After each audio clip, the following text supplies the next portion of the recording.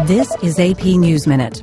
President Obama's call for a reduction in U.S. and Russian nuclear stockpiles is being met with skepticism from Russia. In a speech in Berlin, President Obama called for cutting those weapons by one third. But Russia wants more countries involved. FBI Director Robert Mueller is warning Congress not to act too quickly to make changes in the NSA's controversial surveillance programs. In a Senate committee hearing Wednesday, Mueller said there are 10 or 12 cases in which phone records contributed to breaking up terrorist plots. Researchers say a vaccine for a sexually spread virus has cut infections in teenage girls by half. This is the first evidence of how well the HPV vaccine works since it came onto the market seven years ago. And an unusual heat wave is hitting Alaska. Temperatures topping 80 degrees in Anchorage and higher in other parts of the state.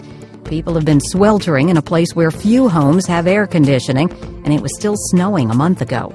Rita Foley, The Associated Press, with AP News Minute.